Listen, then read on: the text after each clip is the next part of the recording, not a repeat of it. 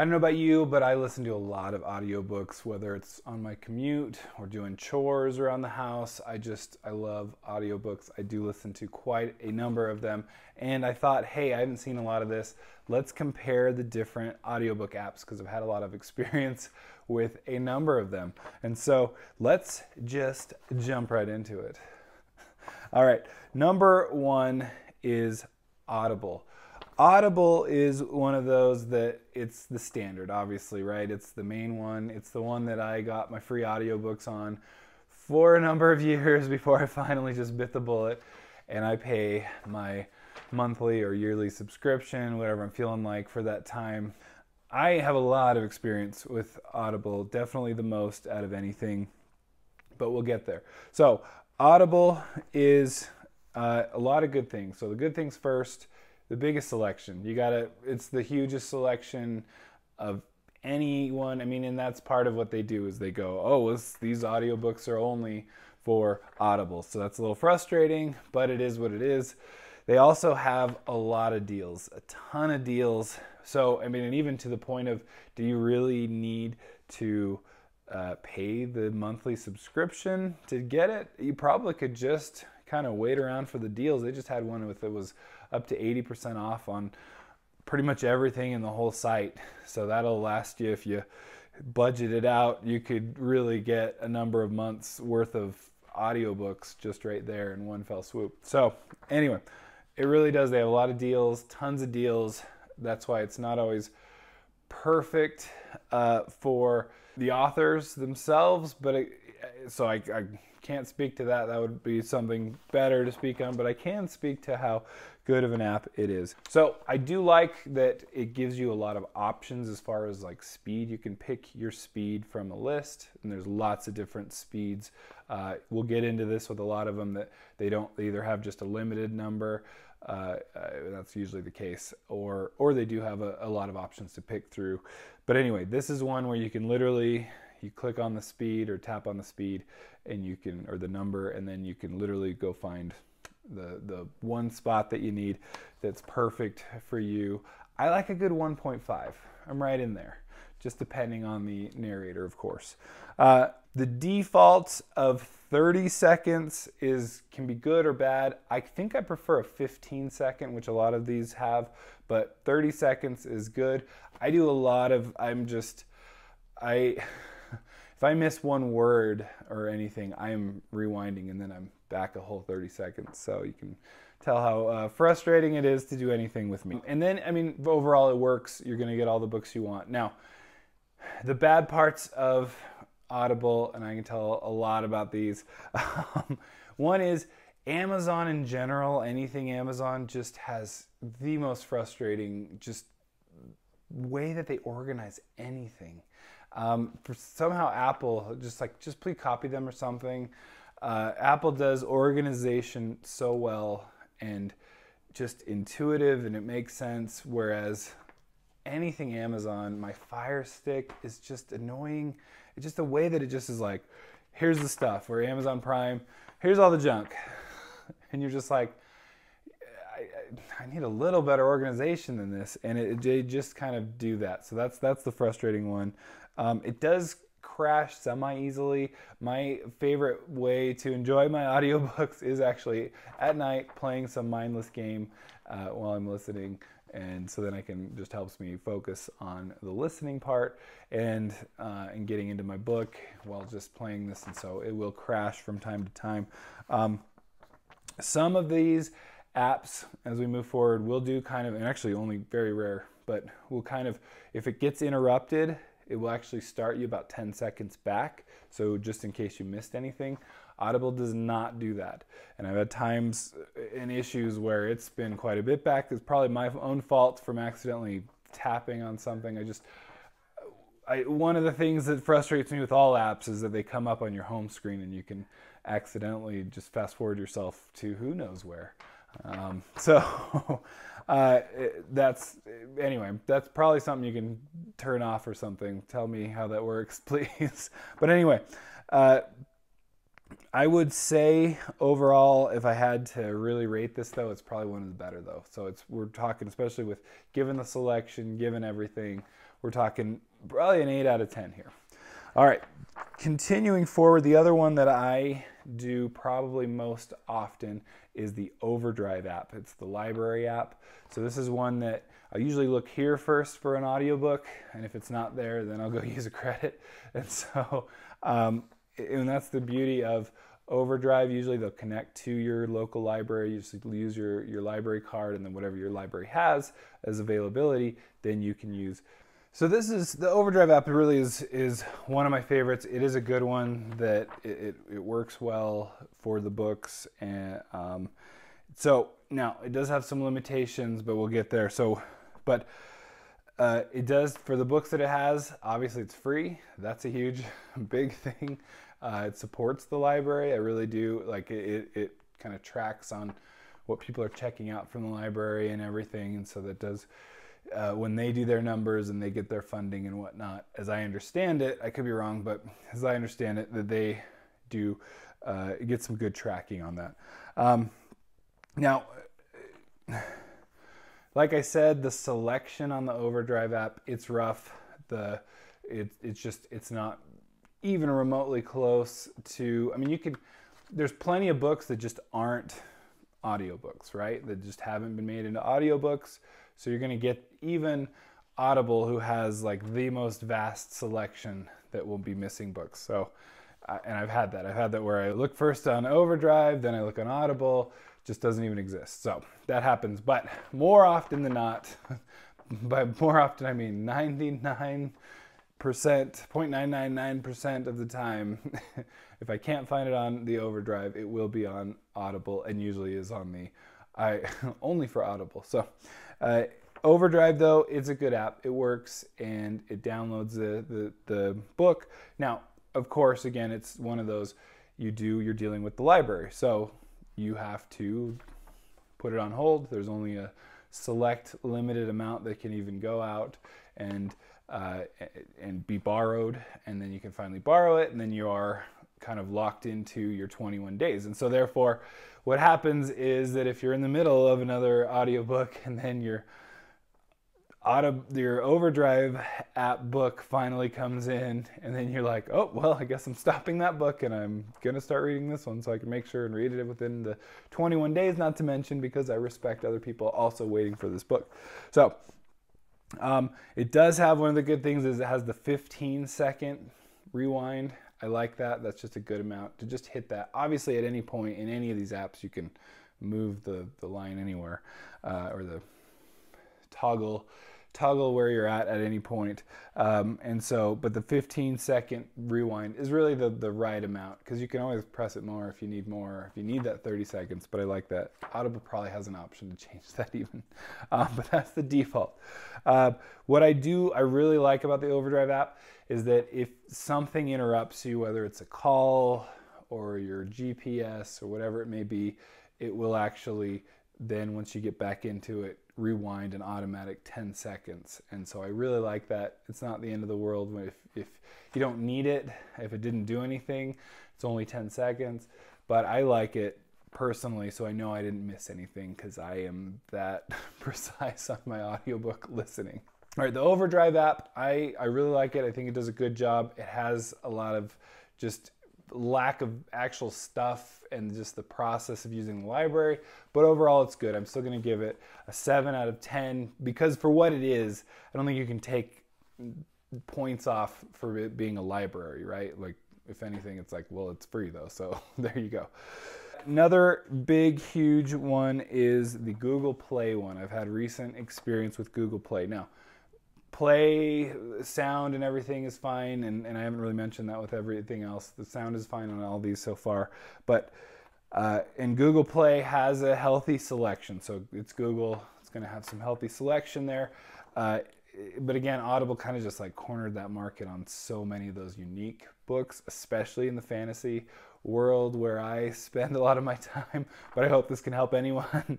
Um, but google play one of the things is uh, it's a little weird and it's got some bugs in it and I've had because this is the thing it's just inevitable I have these apps on my phone I will be listening and something else interrupts it, right? It is literally the constant issue with any audiobook or music for that matter. What Google Play will do is and it happened way too often for me to ever really become a repeat customer. So this is just obviously my personal own personal opinion here on the internet. Um, but what it would do is then often, like by often I mean again way too many times, way more times than I wanted it to. But it was like five or six times where I'd be listening, something interrupted, call whatever it may be, an ad from my stupid game I was playing. Um, and then it actually went back to like apparently a previous like like saved spot.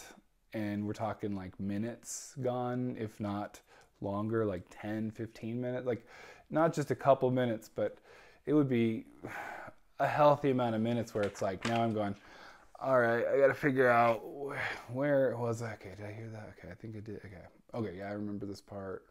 And just it just that it just throws me off. That's one of the things that you get interrupted enough, and then to like also have to go and figure something out where you're at, where you last were. Talk about three out of the book and everything. I gotta say the Google Play is we're talking probably my least favorite. I I'm gonna give this one maybe a three out of ten. It just I did not like it. It was not I was not a fan, and it's mostly based on this is like my notes are pretty sparse on it, but it was like ah, I kept doing this. And that was really frustrating. Another one uh, that obviously is one of the top big ones, the big ones, is Apple Books. Apple Books is a good one. It's got, again, good sound quality. I haven't really, I'm not, I don't, I'm not judging audiobooks so much for the sound quality as long as it's it's fine and and it's not like music where you want this excellent you want to hear the basses and the trebles it's more about the the actor doing the work than actually the sound. Although sometimes from time to time I found that there are audiobooks that are just recorded poorly because there's just not a lot of uh, care given to that. But anyway, Apple Books, uh, I think, again, does a good job. It has a, a healthy free section. Uh, again, I think even just these big companies are a little at the mercy of, of Audible with their exclusive picks. So I did. I have found. Uh, so what they do have is they have the 15 second rewind. I like that. The 15 second like auto quick rewind. Uh, it does keep its place when it's interrupted by phone call, by your stupid ad on the game, whatever it may be. Uh, but it goes just right back. It doesn't do the nice 10 second thing like the overdrive one does, or the 10 seconds back. It does have the usual sleep options that these have where you can just set it for an amount of time and then it'll just go off. So you at least know, hey, at least I can't have missed too much and, and I have a range by which I can go back to uh, if I fell asleep in the middle and it kept going. Now, one of the things is it does have limited speed options. Uh, it has limited speed options, unlike Audible, where you can pick from a whole list of, and it goes by one by 0.1 speed on each level. So that's a really good one. Whereas Apple Books is, and you can only cycle through one at a time, and so you just kind of press it, and and you can go up or down, right? So it is, it's not ideal, it's not perfect, it's fine though. You're not, you're usually going that way anyway. Just oh, I need a little faster. Beep beep beep. You have to do it a couple times, as opposed to, you know, tap for the draw for the drop menu or drop or the pull up menu, and then pick where you want it, right? All right, with the Apple Books app, it's solid. It just it doesn't have some of the things that I really like about Audible and the uh, and the Overdrive app. So I'm going to give it a good solid six out of ten. It's a healthy. It's on the it's on the plus side. They all have so many issues anyway, but it works. It functions. You got to be happy with what you have, right? To some degree. Those are kind of the big ones. There's a couple of new ones that have kind of come out lately, so I wanted to talk about those. The Libro FM Libro FM is a, kind of a newer one, at least to me, and it seems to be kind of pushing to, to become the new like go-to audio, audio book app. Um, so listening to this has a 15 second rewind, auto rewind. So that I really like that one, or not auto rewind. I don't know. Why I keep calling that it has a, the 15 second rewind button, so that's good, or fast forward button, I guess, if you wanted that. Uh, sometimes that comes in handy when you've been pulled back too many minutes. Uh, then uh, it, it has the sleep function, and usually they're about the same. They give you about 15 minute increments up to about an hour. Uh, this one has that. Uh, it does restart you right where you left off when you do get interrupted. I, I tested this on multiple occasions. Um, because you just inevitably test it by listening to an audiobook and then I mark it down. Um, it does have a good list of speeds to pick through, and uh, and so you know that it, it does the same kind of pull up menu, and you can go through and find your speed. So that's a good one, uh, and it has a healthy variety of stuff. Again, as far as things that are available and not only exclusive to Audible. Um, but I did like it does it just it seems to be good. It seems to offer I mean really they all kind of offer these like free books. So you can get up to you know one to two books per source as you go. So libro fm i'm going to go with this. It's a good solid option it doesn't have the the benefits that i like on the overdrive or audible but it's solid so i'm going to give it a 6 out of 10 i think it's it's a solid one audiobooks.com this is one of the probably the big one that that is kind of becoming a big competitor as well just like libro.fm and audiobooks.com is it's very similar i felt like to audible. It had a lot of the same things a lot of the same um, just interacting with it. Uh, it does a lot of the promotion the same promotional things like have a free audiobook or two to just try us out, and I've definitely taken advantage of that. It, it's it's good. It has um, the biggest thing really is just the not as much selection. I mean, really, when it comes down to it, it's it's a healthy, uh, good, solid. It's it is it's a 30 second. That's why I'm like it kind of mimics a lot of what Audible has as a 30 second, you know, uh, re, uh, rewind button. Uh, it has the usual sleep stuff. It has the, the ability to do bookmarks and take notes even on certain parts, which is good for us reviewers, although I do it in my own just like notes app. Uh, when I have ideas and whatnot or things, things I need to write down, I'll be like, at this point, chapter whatever. Um, and uh, so overall, it's a good one. It just it just doesn't have that selection. Uh, they um, they have what I what I liked about it. There's this one uh, spot you can actually kind of change slightly some preferences as to like what you see. You can either see like just by chapter or by the whole book, so you can cycle through those. You can toggle through those. It also gives you the good speed options by point ones, though it does it in a little different way where you can actually you more scroll instead of just picking. I like that less just because my hands are too like um, imprecise to say the least. Um, I will, uh, to quote, what is it? To quote The Simpsons, I'll fat finger it and mess it all up. So I actually prefer, which I can do with anything really. Um, but anyway, it doesn't have the like pick. It has just literally like a, a bar with a little the, the dot in it where it's at. So you can either scroll it or you can use the plus or minus on it. Um, but again, those are just kind of minor things. There were some it had some issues, I remember, with playing with doing other things. And that just might have been an old phone. So I can, again, this is all my opinion and my experience with it. Could have been an, all, uh, an old phone, not enough phone, not enough RAM going on uh, to be able to support so much going on or going on at one time. But I never really had that problem with Audible. Audible feels like a much more streamlined quicker app that works typically uh, pretty well all the time. So audiobooks, I'm gonna go, uh, audiobooks.com, I'm gonna go with a five out of 10 just because it, it, had some of those issues. It's not perfect. Uh, I have had more probably interaction with that though than some of these others. So maybe that was part of the problem why these others are getting a higher rating on my rating scale. All right, another one that just kind of recently I've learned about is called Chirp and it again is trying to make its its name in the audiobook world. Uh, it's it, and I could be wrong about this. It might be just you know kind of starting out with more independent books, so that's kind of cool supporting those independent books there. Uh, but just again, the app itself it, it, it again is very pretty typical. I don't think it's that hard for these apps to just play audiobooks, um, especially when I don't think your listeners are caring so much about the actual, the real quality of, of what's you're hearing in your ear. You're you're caring about the story and how it's read. That's the the big things that really the it does have a 15 second rewind, so that's always that's been in my positives. I like that. So you adjust your speed, and this was a, a unique one by this plus or minus on it, and you can only go by one at a time. So you can't like, you know, it's not pulling up a whole thing and then you pick your one. You're you're having to plus plus plus plus plus or minus minus minus minus to get to where you want. Not the end of the world, but it is a little uh, it's not ideal. It's not the perfect way to do it. I don't I don't love that of all these. It does go back to where you left off when an interruption happens. There isn't that auto rewind that I like in the Overdrive app, but it does at least go back to right where you were last going. And then with a 15 second rewind, pretty much does the same. What I liked about it is it does provide a percentage complete, like right there in the app.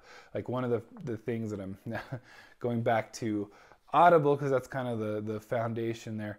But to be able to look at where I'm at in like the whole book, I'll often have to, you know, um, sleep the whole screen and then go back to just looking at the home screen, and then I can see the the amount where I'm at in the full book as opposed to just the chapter. Uh, although it does kind of, anyway, when you adjust the speed, it gives you also some kind of estimated time left um, as well. I guess not estimated, uh, it's probably the exact time left. Um, but Chirp, Chirp was good. It seemed good. Again, I'm a lot of these are just kind of falling in the same bracket, six out of 10. I think that is what works for that. All right. Um, another one I just recently found, and this might be, and these last two might just be in the more reviewer realm, and so you can turn off now if you're not a reviewer. A couple in these in these reviewer kind of realms is Authors Direct. Um, this one it's a little simpler, and I think they're kind of like, well, you're getting this book for free, so deal with it. Is what I kind of this is what I read into it. They have not said that. Again, all this is my opinion, um, but you they don't really have so they have a 15 second rewind i like that or fast forward but the thing is if you reach the end of that track that section and you have to go to the last section it doesn't let you 15 second rewind into that and this is where i discovered that that is apparently an issue now. So if that makes sense. So what happens is you'll you know you'll, you'll be having a track going and you rewind it, rewind it, rewind it, and then um, you know you might go and you might just have barely miss something when the, the next chapter started or something, and you or you want to oh I just missed something when that last chapter just ended, and you can't go to the 15 second. You have to go to the drop up or the pull up menu, find the last chapter you were just on, and then rewind. I guess this way all the way back to where you were. It's, that's just it's it's maddening. It's it it just is like it happens too many times to like for that not to be real just annoying to have to deal with. Uh, so anyway, Authors Direct, it's not ideal. It is definitely limited speed options. It's more of the in the 0.25 increments, uh, and um, obviously also limited selection and definitely more limited than usual. So that's one. It just it just it feels like a we made an app because we had to make an app, but uh, it is the bare bones, the barest of bones for an app. All right, authors direct. I am going with. I think I'm gonna go have to go with a three out of ten. It's it's pretty bare bones. NetGalley is an interesting one. Um, this is another one where it's for the reviewers to be able to, to listen to these and, and be, are they're provided by the publishers usually or the author directly. And, um, and NetGalley is one that a lot of reviewers use. Um, and I only discovered recently that they have an audiobook section because that's how old school I am. I, I started with when they were giving out the Kindles, uh, Kindle books, not Kindles, but uh, the ebooks, I guess, probably on anything. Um, but anyway, so one thing I liked is this is the first one that I saw this. It has two bars that it puts in there. So you got two bars one has your where you're at with the chapter and the progress through the chapter. The other one is through the book. So I kind of like that. I hadn't seen that. There's plenty of space. Literally, most of these apps, half of your space is used up by just showing the cover of the book, and it's like, I know what book I'm reading. Good, we're good after you know the first second or so. Uh, so, anyway, I like utilizing the space well. Um, this one again is one of those. There's probably more issues with it that I didn't like. That uh, anyway, that I just had issues with. Uh, the so one small one is just the 30 second or 30 second rewind instead of the 15. I do prefer the 15. 30 second, not the end of the world. This was the one that I really didn't like. It will keep playing when you get interrupted. So you have an ad show up on a game that you're playing or a call or whatever it will do that weird thing. And I don't know if you've ever done this because I have, eh, where the thing keeps playing while you're on the phone call, and then the person on the phone call is like, "Who's talking? Are you talking? What?" And you're like, "Oh my gosh." Get this off, get this off. And then, of course, you don't, and it screws everything up, and your life crumbles around you. But it, was like, so in other words, there is no 10 second rewind when you get interrupted because there's no rewind whatsoever because it just keeps going. that was just weird, just quieter. It like mutes it a little bit, but it's muted a little bit more, but it's it still goes, and you're like, what? That doesn't make any sense. Um, there's very limited speed options for your speed. Just goes by 25.25, which I think it's fine, but it does always just depend on the narrator. And sometimes, like I like, I usually typically like a 1.5 is my speed, but there's some that are reading so slowly that I like maybe like a 1.7 or 1.82. I've definitely found to be just a little too quick for me, but I've gotten to 1.8 on certain ones that that does work out. NetGalley, I'm definitely going with more of a four out of 10. All right, so I hope that gave you somewhat of an idea of where audiobooks are. I love my audiobooks. I'm constantly listening to them. Um, like I said, doing chores, going to work and back. I love them. They are a big factor in my life. so I've dealt with a lot of different apps. I hope this helps a little bit to kind of choose where you're going. I do kind of overall have to say Audible's where it's at. There's a lot of deals, but that doesn't necessarily mean you have to do the subscription. I think you can honestly wait around and figure out for the deals that you're going to be fine because you get a, you know, you bought the book and it's yours. Uh, you could probably work it out to just get deals. Although they do have members only deals, and I'm not just whew, I haven't said this, but I'm not I'm not in any way sponsored by any of these. I don't have any skin in this game. I just know what I've listened to, and I've listened to a lot of them. Uh, it really seems to make the most sense. I do like supporting kind of these smaller ones that, and I think if you can find the books on them, it's not going to hurt too much.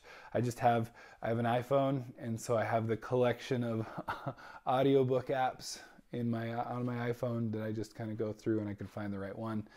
Um, I guess kind of out of sight, out of mind. Sometimes I do forget what other books I have in other apps. So that is the problem with doing that. But I do like kind of supporting these smaller ones uh, where I can. But it, when it comes down to it, it just seems like Audible just has it's the selection really that you're going for, and that you just can't beat it. So overall, that's probably the best one with the combination of using Audible and Overdrive. I highly recommend doing that. So anyway, let me know if you have any questions, if you have any thoughts on it, if you disagree with anything, obviously let me know. This is Shelf Centered. Thank you for liking and subscribing. Obviously, if this is something you can dig, I appreciate it. Take care. Bye.